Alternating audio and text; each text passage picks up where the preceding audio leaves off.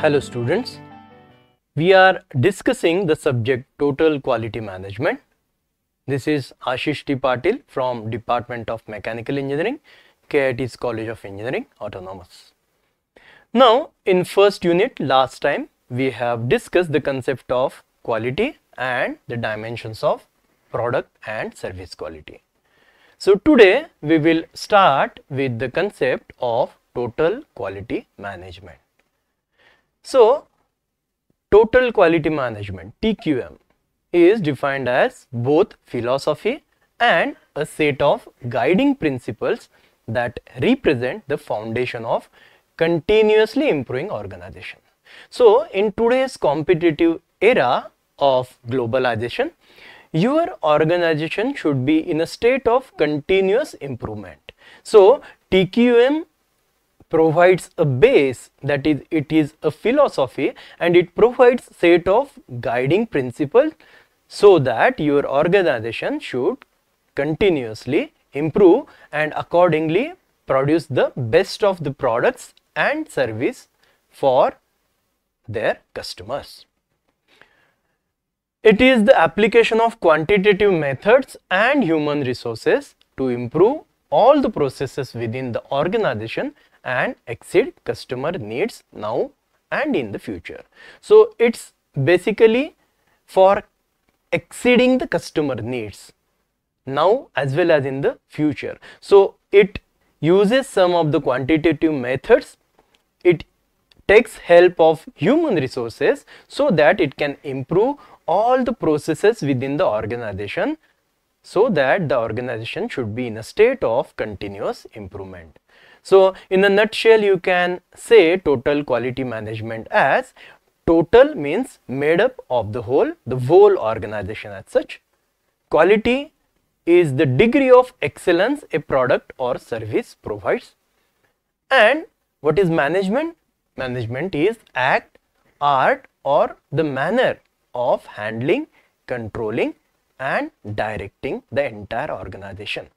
So, TQM can be defined as the art of managing the whole, the whole organization to achieve the excellence continuously. The word continuous is very important. Your organization should be in a state of continuous improvement so that you can withstand in this fierce competition. Now, let us see some of the basic concepts of total quality management. Now, various basic concepts are like the first one is management involvement. When it comes the part of management, management should participate in quality program, it should develop the quality council, it should direct the participation of each and every employee. Because it's the management on behalf of which the entire organization works. The entire organization is made up of the employees. So, it is the role of management that they should introduce various quality programs, they should lead by example, they should develop the quality councils and they should direct the participation of all the employees for the overall growth of the organization. The next concept of TQM is focus on customer. So one should understand who is the customer. Now customer are of two types, one is internal and another with is external. Now external customer is the one who expects the product or service, the ultimate end product or service. Whereas internal customers are somewhat different. For example, if we see the assembly department and if we are in a position of assembling the product and if we demand the production department to supply various parts so that we can assemble that product. Now here assembly department is internal customer of production department. Again uh, the dispatch department will ask assembly department to send the assembly so that they can pack it properly with all other necessary things and dispatch to customer. Now here the dispatch department is internal customer of assembly department. So each and every person of the organization should understand who is the exact customer. You should understand the voice of the customer also. Now here when you say voice of the customer that means you should understand the basic needs and basic want. Now there is a difference between need and want. For example, if you are thirsty and if you ask for a glass of water then you can say that is a need. But if you specifically ask that I need a mineral water then that is the want. So you should understand the needs and wants of the customer. And again it talks about do it right first time and every time. So whatever you are producing any product or service you should produce it right first time okay and every time. So trying to avoid the mistake is the basic agenda when you talk about total quality management. The third aspect is involvement and utilization of entire workforce the workforce at all levels though it may be lower level supervisory level or mid management level senior management level all should get involved in all kinds of decision making and accordingly entire organization should lead towards the continuous improvement. So, it is nothing but involvement and utilization of entire workforce of your organization.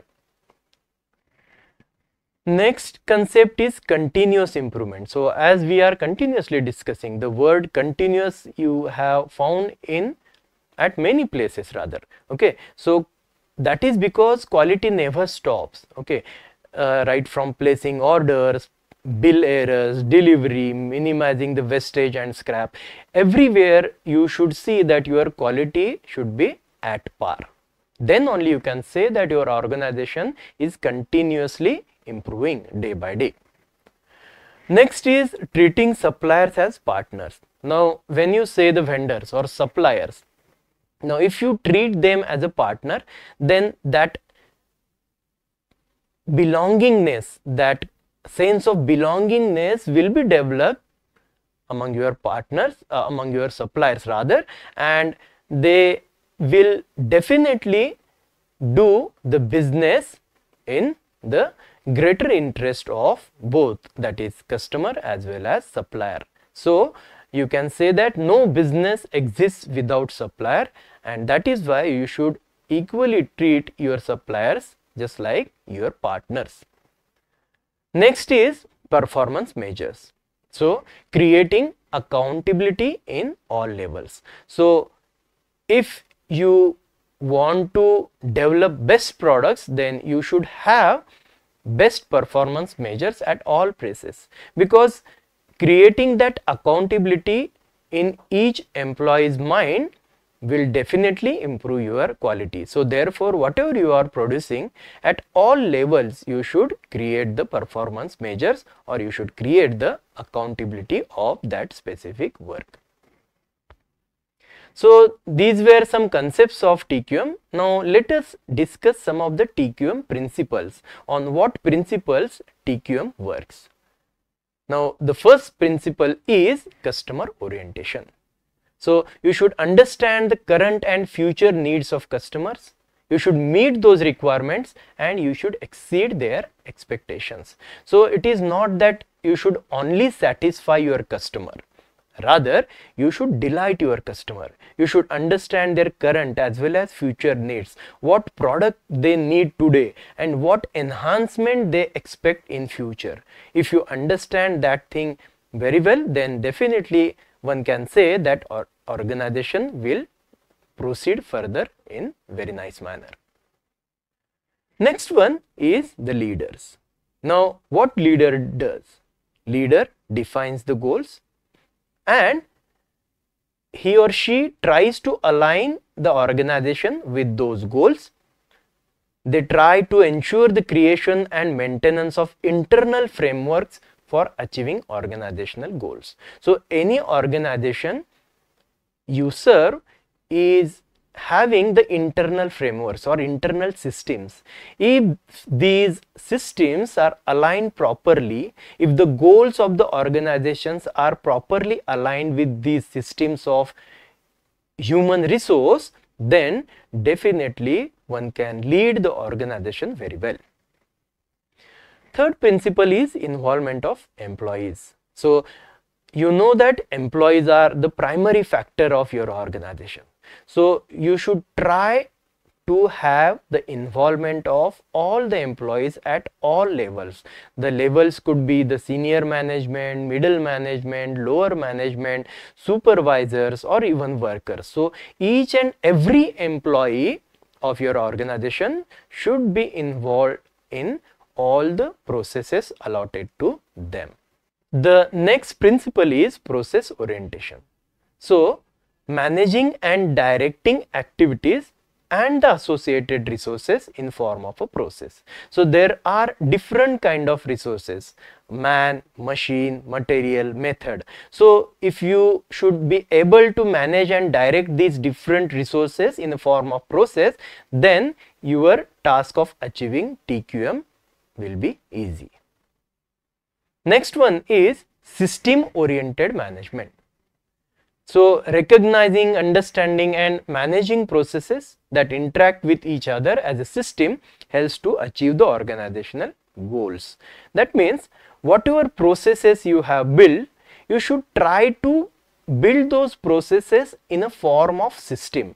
So if you build it as a system, then definitely each and every resource will get properly aligned and it will be easier to achieve the organizational goal. Then next is continuous improvement. Now continuous improvement of all services through learning and innovation. Your organization should be always in a state of learning. You should always be in a state of innovative mind so that you can be able to produce innovative products which will meet your customers needs and wants. The seventh principle is factual decision making. So your decision making should be based on factual data. You should collect the data, then you should thoroughly go through that data and analyze that data and based on that analysis you should create your decision. Next principle is mutually beneficial relationships with suppliers. So as we have discussed earlier also, you should have a mutual beneficial relationship with your supplier. You should treat your supplier as partner so that that sense of belongingness will come in your supplier and they will also work as if our own organization for you. So these are various TQM principles now let us discuss the evaluation of quality or the history of the quality. Now how the quality gets evolved. Now prior to 20th century quality is considered as an art or it was considered as an era of workmanship. Now later in 1900 F.W. Taylor started the concept or he brought the concept of scientific management where rationalization of work and its breakdown leads to greater need of standardization, inspection and supervision. So these three concepts that is standardization, your product should be a standardized one. Whatever you are producing, you should inspect it thoroughly and whatever processes you are doing, you should supervise properly. So these three concepts were evolved. Then in 1930s you can consider it is a beginning and study of quality control by Shewhart. Now Shewhart is a person who evolved the concept of quality control. Parallelly there were studies by R.A. Fisher on experimental design that means the design should be based on experimentation. Also there was a beginning of control charts at Western Electric Company in United States of America which played vital role in further quality development. In late 1930s, you can say that quality standards and approaches are introduced in France and Japan and you can say that in this period the concept of statistical quality control, reliability and maintenance engineering were evolved. So, these three concepts were very useful in overall approach of quality management.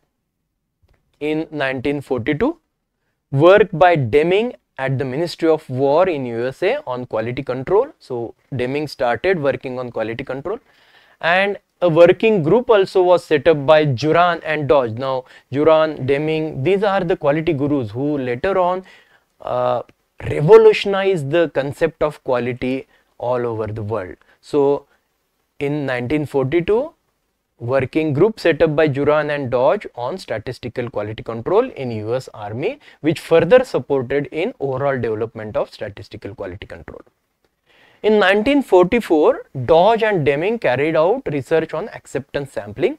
Now, before that, the quality was checked thoroughly. For example, if you are manufacturing the components and say if you are having a batch of 100 components, then each and every component will be checked for its quality. But later on Dodge and Deming introduced the concept of acceptance sampling where instead of going for all the batch quality check you can have the batches and from that batch some sample will be collected and those sample will be tested for the entire quality and based on that sample quality you can judge the entire batch quality. So, that is the concept of acceptance sampling. Then in 1945 uh, founding of the Japan Standard Association was there. Then in 1946 American Society for Quality Council was founded.